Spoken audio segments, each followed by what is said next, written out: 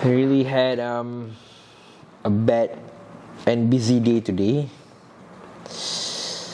Um, first of all, yesterday my hard disk um, it failed on me. I tried to plug it in my laptop as usual, and it didn't detect the hard disk itself. Tried a lot of uh, tips and recovery programs that I could get my hands off at the time, and the hard disk is still not appearing on the desktop.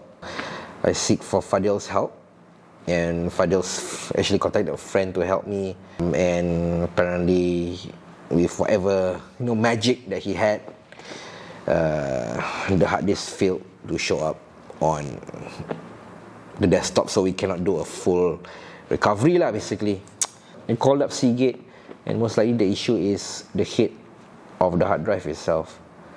So basically, um, it's gonna cost a lot of money lah. and you know, I don't have that much money lying around. Worst case scenario is that everything in here, um, that's basically all the unedited vlogs, is gone. Um, luckily, nothing, nothing personal was wiped out. But it's just that the vlogs, you know, the vlogs that I've been too busy to edit lah. Like um, recently, we did, we recorded a review of a KTM Cyberduke 990, um, a Sniper 155 review, uh, a Hornet 2.0 review, and the rest of the Cameron Highland vlogs. Um, they're all uh, in here, from the raw files to the Final Cut profiles, uh, stock footage, stock sounds, everything. it's all gone.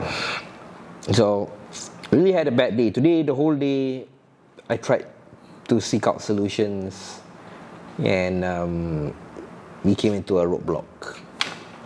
I'm appealing to you guys for help. You know, if there's anything you guys can suggest or do, uh, please uh, let me know. Do contact me lah on um, my Instagram.